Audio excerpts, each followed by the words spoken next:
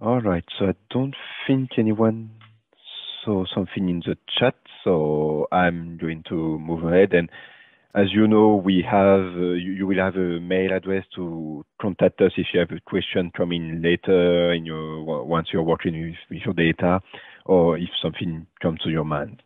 So for now, let's move to the last presentation of this uh, training session. So that will be on energy balances. This was the created by my colleague Taylor Morrison and me, Nicola Trent, and we are working in the annual energy statistics team within the IEA.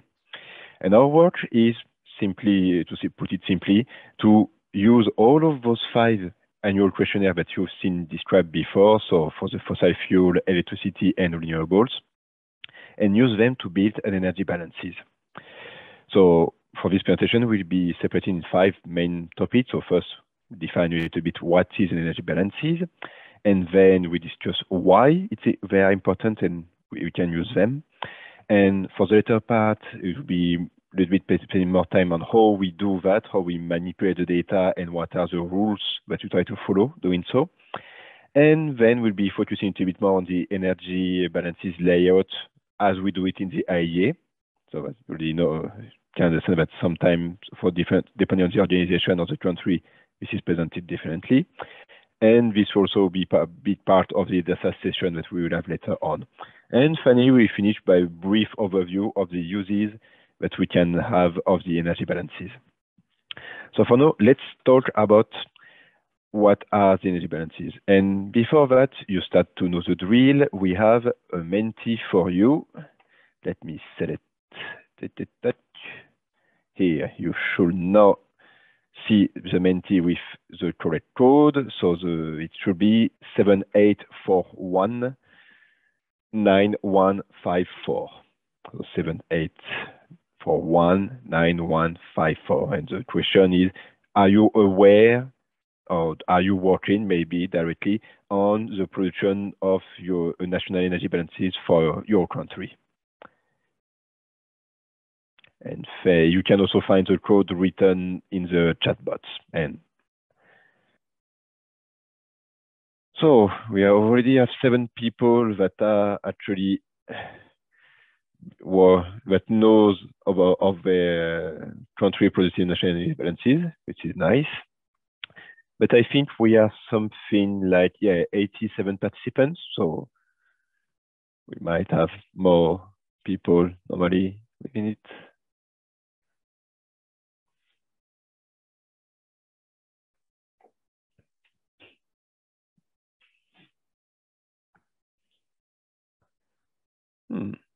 Oh, de currently developing it, it's interesting. I would be curious if you can say for which country, from which country you are in the chat. I would be curious to know what are, uh, which country is currently developing the balances. That's one of the, uh, that's a part of our, of our work here to assist if you are doing so. All right, so now let's move back to the presentation. Uh, there. So now we are back to the PowerPoint. Um, so let's talk a little bit about definition. So what is an energy balances? So let me just move one thing on the here. Thanks. So an organization can present an energy balances in many ways. And you see on the screen right now the way the IEA chose to do. This is based on what is called the International Recommendation for Energy Statistics, or IRES.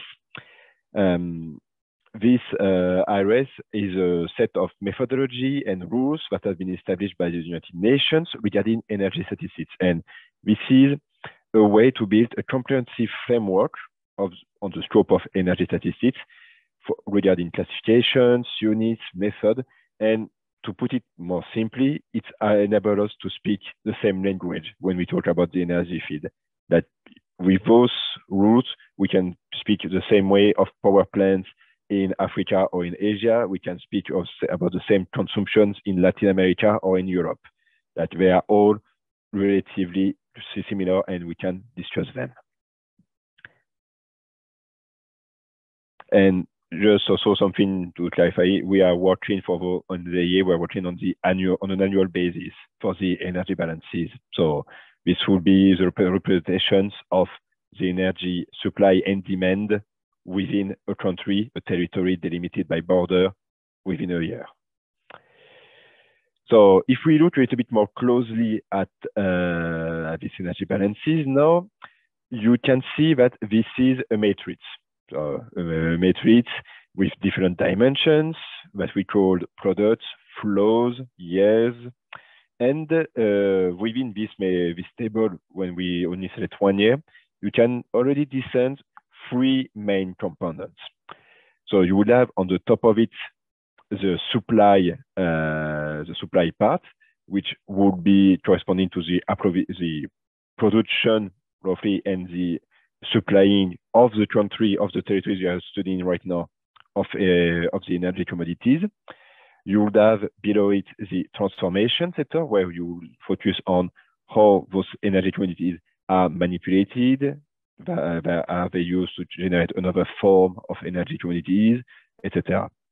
And the last part will be on what we call the final consumption, which mean we call it final consumption because after this usage, there is no way to use this energy anymore. Uh, those products are not cannot be used for energy purposes once they have been consumed in those sectors. Hence the final wording.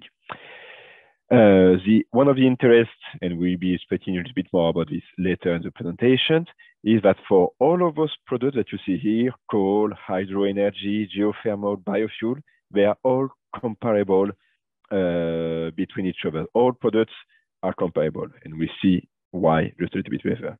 And it's because it's in comparable energy. All of those data, all of those data points are in terajoules in, in this case, so in energy units, which means that they are comparable. When you cannot compare a gigawatt, uh, gigawatt hour and a ton of coal, you can compare uh, a thousand of terajoules to a hundred of terajoules. We, those are physically closer.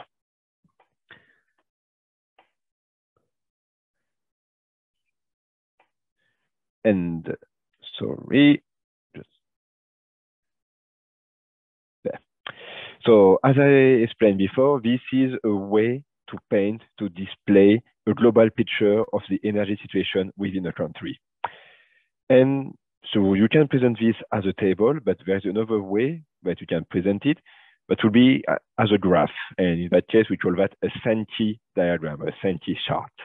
So this chart is actually exactly the same information that you have in the table. It's exactly the same, but just presented with this way of representing the flux between production, transformation, consumption. So you can see there the way the energy flows into the country, if I can say. It's a more visual approach to, to this.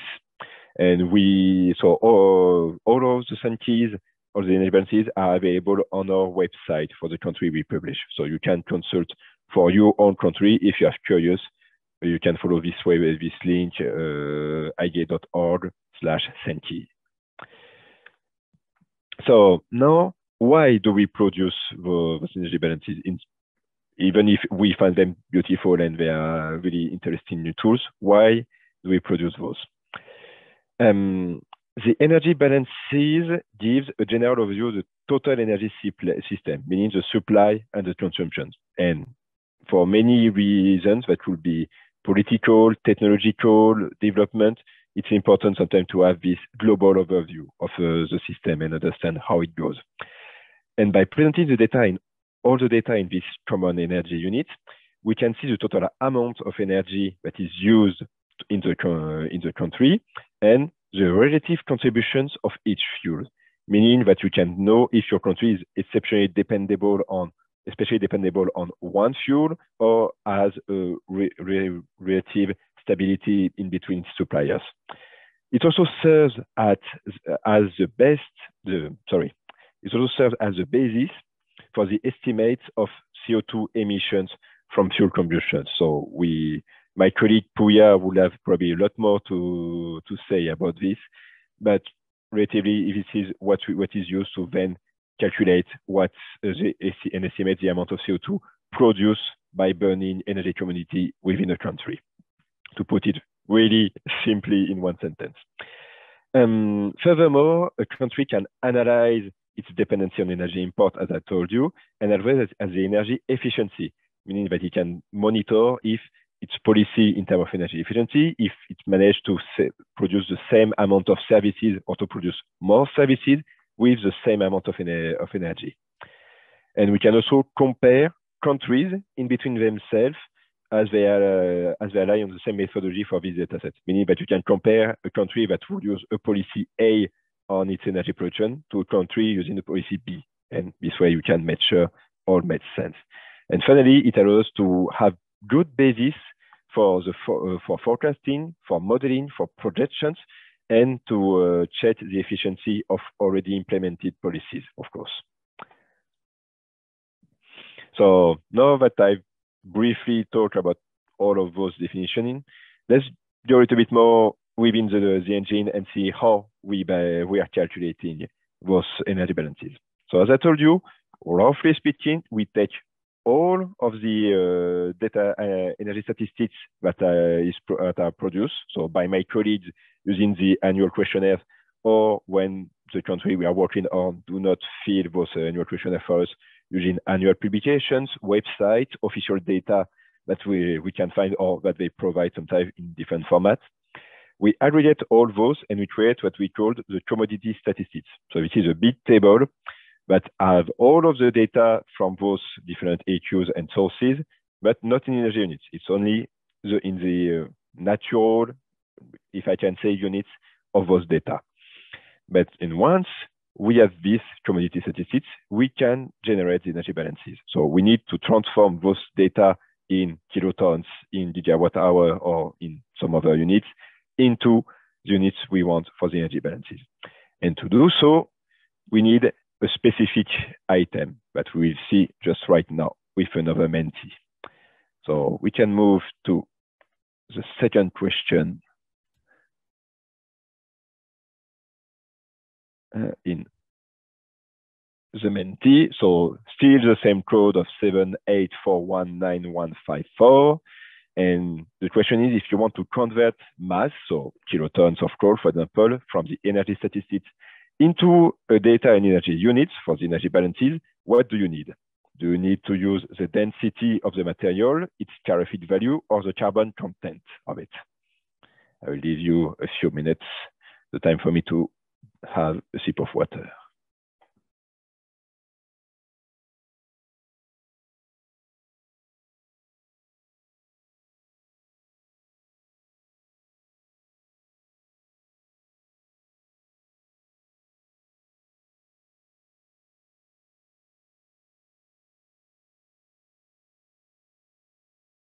All right. I think you might have already seen this presentation or already be aware of all that. so yes, indeed, we need the calorific value to generate, uh, to, to move from the, uh, sorry, let me find again the PowerPoint now. So to, to, to move from energy statistics to energy units, we indeed need the calorific value. So good, uh, good job. And typically this information on the fuel is found on, in unit of energy per mass, kilojoule per kilograms, for example.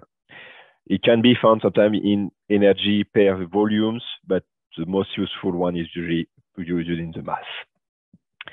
So let's get a little bit more into the details here. So we have statistics by products, I told you, and we use a multiplication with the calorific value. So we move from kilotons we multiply the value in kilotons by kilojoule per kilograms to get uh, the data in energy units. And so we process to a few format change in the uh, statistics.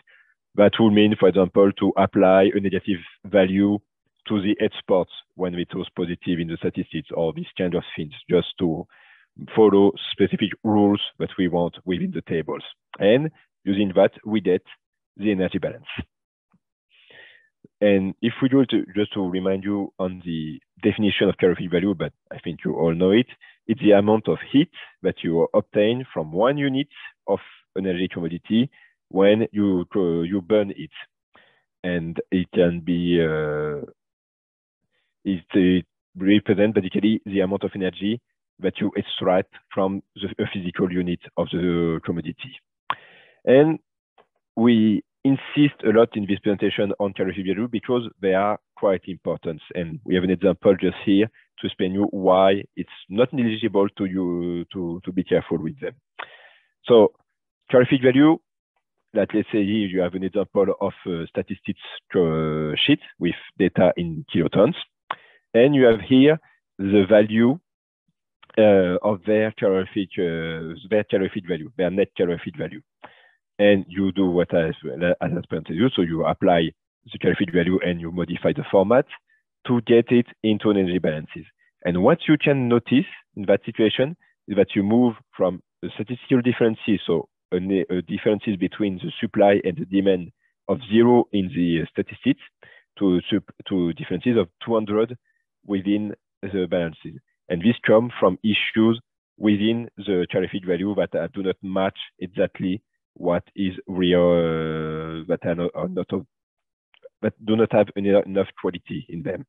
So that's why when you create your data in physical unit, you really need to pay attention also to the to calorific content of it, to also qualify the, the quality of the fuel, but also to think in advance of when you need to transform those data. You need a, a good calorific value that match depending on the flow that you're studying, the calorific value of the productions, of the importation you have, or of the consumption in specific uh, sectors.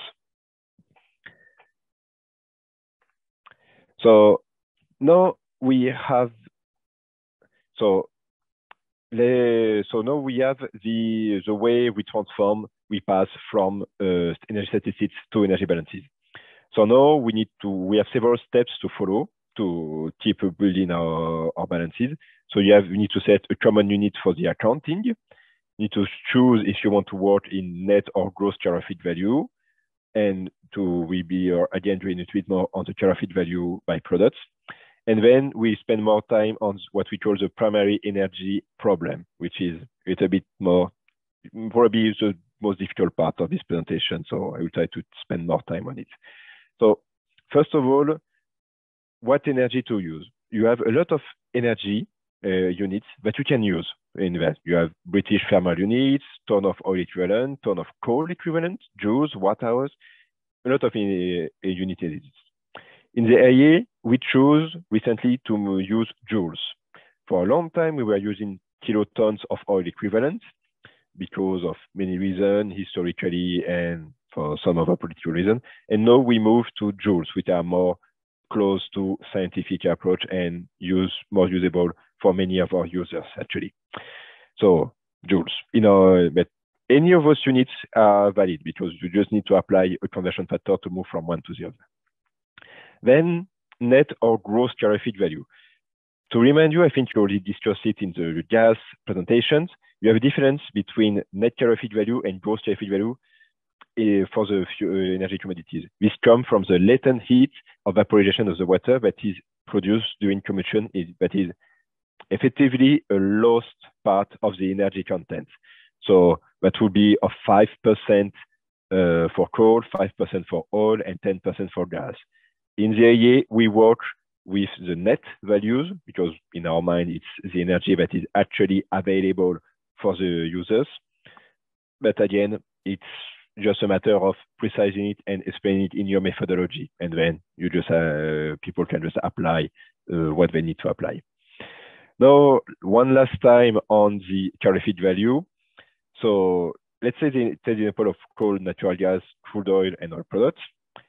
Those calorific value for those products, first of all, can vary over time, meaning that, for example, in the case of coal, depending on what strata, strata you are in your in digging in your mine, the quality of the coal will not be the same. So you need every year to recheck to make sure that the calorific value is still correct. Of course, it varies between commodities. So coal and oil products do not have the same uh, calorific value. But even within coal, between different type of coal, you have sometimes big differences. So you cannot just use a default one for every of those products. From country to country, of course, natural gas produced in uh, South Africa and natural gas produced in Norway will not have the same calorific value. It will not be exactly the same gas with the same amount of carbon in it. And then finally, from flow to flow.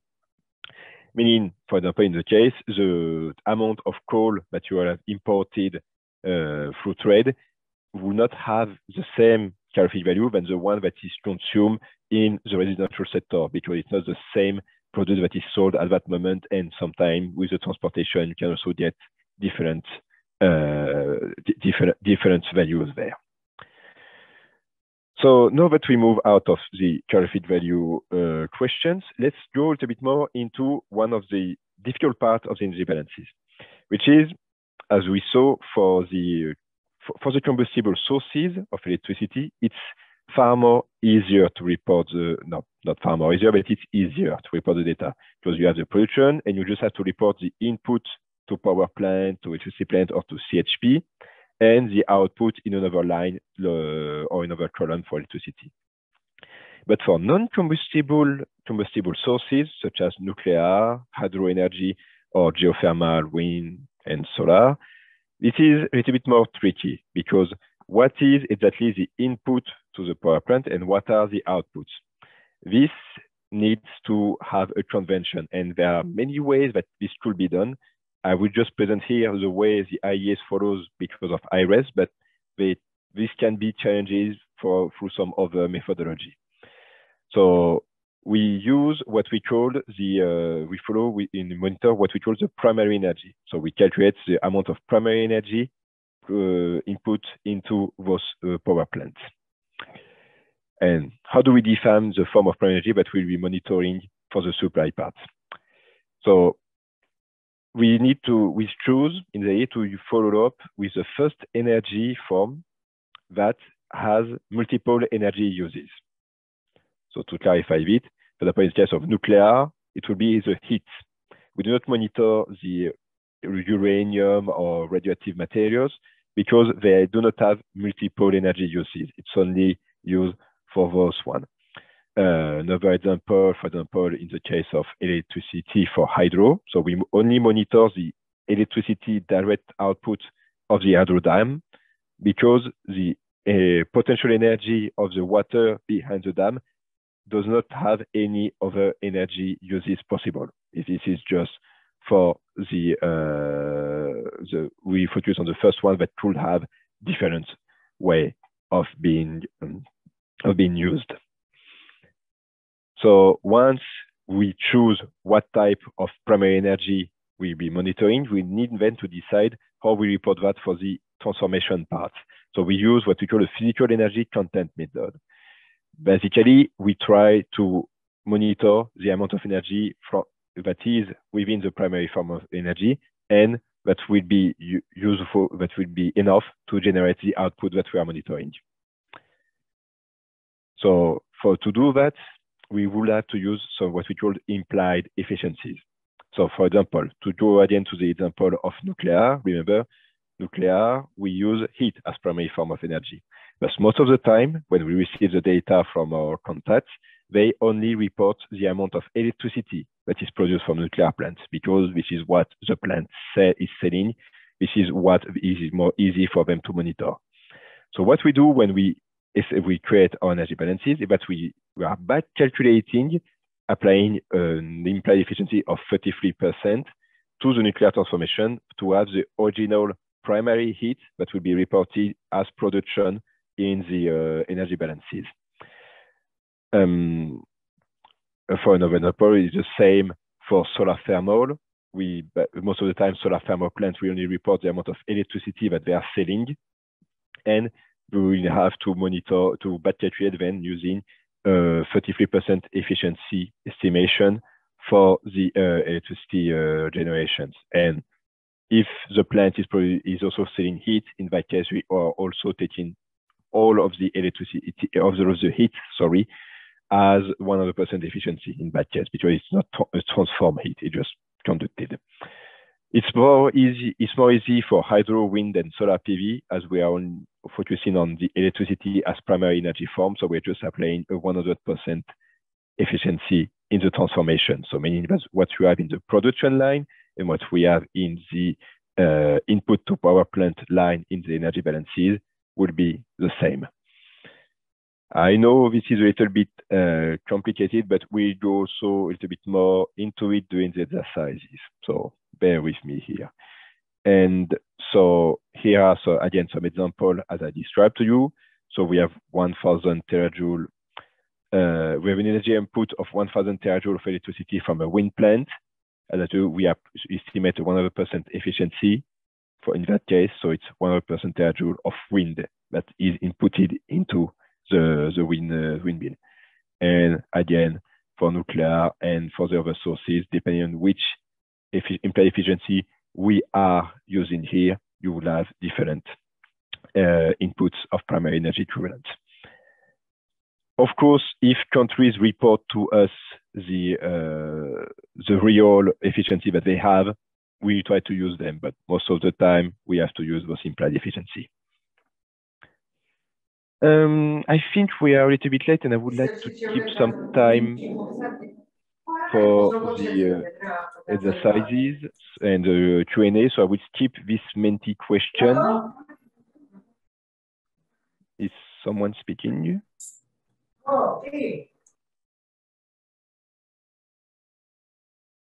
I think someone forgot to mute. Okay, uh, sorry, uh, sorry about that. So let's go quickly to a detailed view, more detailed view on the energy uh, balances layout. So as I told you, you have three main sections. So you would have the production, the supply part on top of it, which include, for example, production, but also the trading, the bunkering, and the stock change. And uh, let's focus here on following the oil products column because it's a bit more interesting. Uh, so you see there is no domestic production and you have a negative supply, uh, TES, for total energy supply that you have here.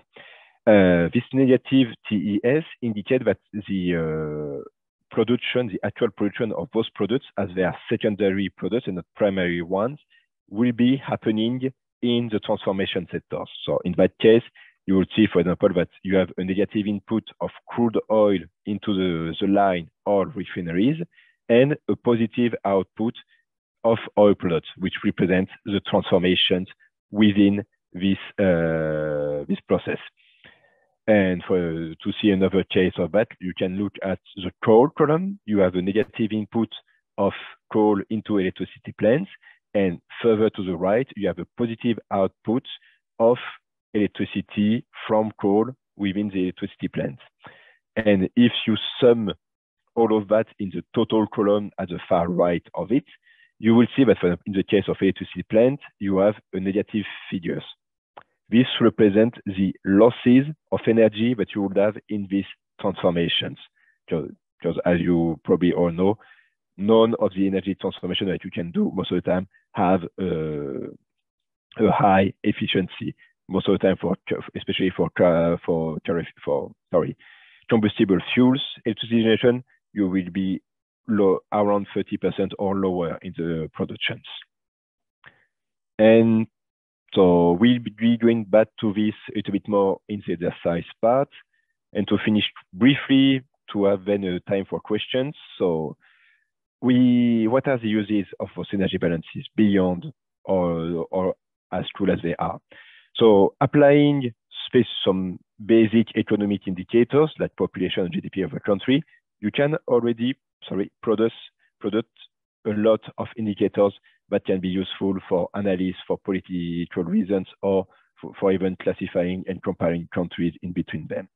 For example, here you can monitor the total energy supply of uh, total energy supply per capita, so per inhabitant of India, and see how this evolves over over time, and see, for example, the impact of some of some events worldwide events in the 2020s and, uh, and uh, after that.